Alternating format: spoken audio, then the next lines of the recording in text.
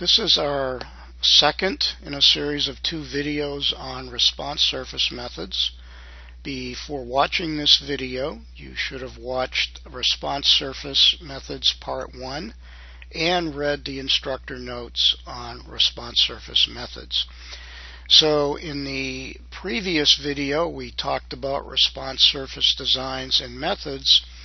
And in this section, we're going to talk about generating these designs in JMP and also talk about how we can evaluate the properties of these designs. And remember, the key to response surface methods is prediction.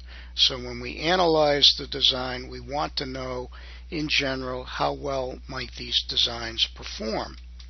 Okay, so what I'm going to do at this point is actually go over to JMP and show how these designs are generated and talk about the various issues with them. So I'm going to open up JMP. In fact, I'm going to show there's two ways to generate them. And we'll start with the classical method. So under the DOE menu and go down to response surface. Okay. And what I'm going to select, let's to make it interesting, let's pick three factors. In fact, I need to add one to make it three. Okay.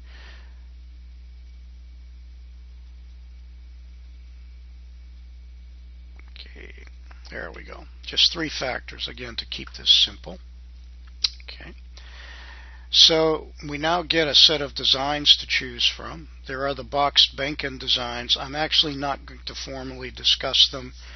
Uh, whatever I discuss about central composites would um, apply to Box-Behnken designs. But central composites and Box-Behnkens are the um, workhorse of the response surface designs. So I'm going to select central composite. These other three types of designs, don't concern yourself with them. Uh, they have properties that are marginally of interest. I generally just generate the central composite design itself, and then I can modify it as I so desire. And I click continue. Now it asks where do you want to put the axial points. On face means you put them right on the faces of the cube that forms the experimental region. Rotatable is often a choice and what rotatable means is that the prediction variance um, at any distance from the center of the region. So pick, picture the center of your experimental region. If you go some radial distance from that center and define a contour, the prediction variance is the same on that, at that distance all the way around the design region. So they're called rotatable because the prediction variance is constant at any for any specified radius.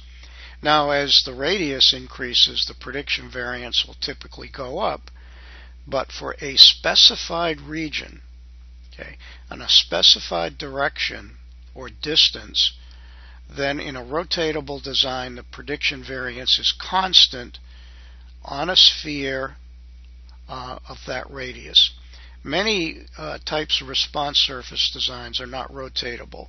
So if one moves in one direction in the experimental region, the prediction variance can behave differently than other regions. So you can read about rotatability in the notes. I, it's a pretty simple idea conceptually. So usually what people pick are on face or rotatable. Number of center points, that actually is an important question with uh, these central composite designs. I'm going to make the table okay, and see what the design looks like. Notice it's been completely randomized.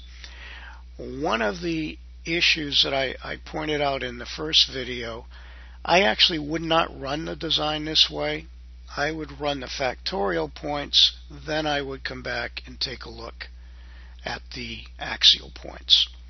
So when you generate one of these designs, even though we typically randomize, we actually sometimes In this case, we'll not want to randomize it. We'll generate it and then we'll randomize the factorial portion separately. Now, notice it says design evaluation.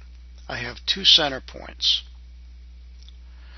A prediction variance profile. This says the relative prediction variance. So think of uh, the standard deviation of the response being 1. We'll say sigma squared equals 1. Notice this is not a really good design because in the center of the region is where we're seeing the largest prediction variance. Okay? And if we take a look at the prediction surface, you can see it. So you look in the center of this region, notice it's mound shaped in the middle then it goes down, and then when you get to the very edges of the region, the prediction variance explodes intuitively because we're now entering a region where we have very little data on which to base um, our prediction.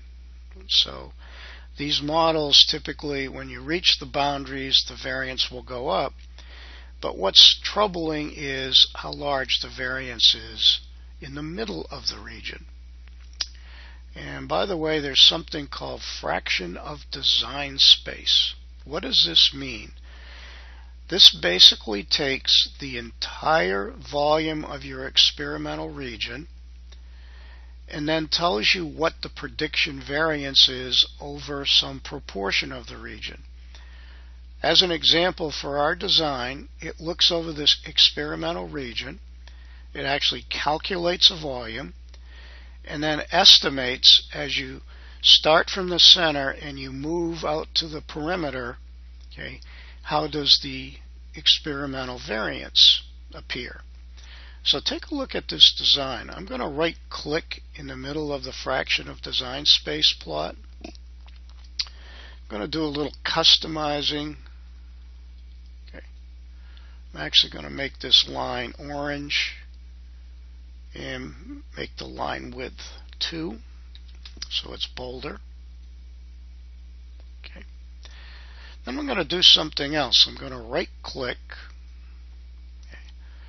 and where it says edit I'm actually going to copy the frame contents everything that's in that frame. Okay. Now I'm going to back up. So this has two center points. Okay. Now I'm going to add 5. Okay. So now we want to add 5 center points. Okay. Okay. So then let's take a look at what happens. Okay. Whoops, I need to I need to back up before I do that. So I need to back up. Again, I'm going to select the central composite design, continue and this time pick five center points. And I want the design again to be rotatable. Then we look at the design evaluation. Okay, let's take a look at the prediction variance surface. Okay, and we'll take a look at the prediction variance profile. It is getting a little flatter as we go along. And again, it changed on me. I'm going to go back, okay. Generate the design. I want five center points, rotatable with five center points. It should not have changed that, so be careful. Okay. Okay. Now the prediction variance profile has changed. Now you can see the prediction variance is actually, one, it's lower, and two, it's more uniform across the interior region. Before the the relative variance was about uh, 0.4 something, now it's down to about 0.2.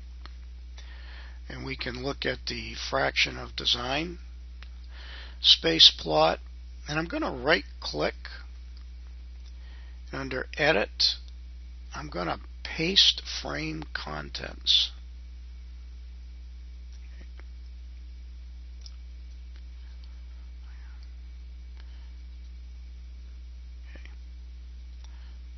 For some reason it closed, so I'm going to actually show you in the notes what happened. Okay, so everything I talked about is described in the notes. So I'm not going to go back over it again, but you can read through the discussion. And there is the um, fraction of design space plot, if I get to it here. So here is the design. Notice with one center point, the prediction variance goes up rapidly over the design space with three center points. It's relatively flat. So in central composites, the number of center points is important. You can actually try a number of different values of center points uh, up to some number that you can afford. Usually three to five is about all people can afford. The designs are pretty big as it is. And at that point, I've already talked about saddle systems. So that's basically how these designs are generated in JMP.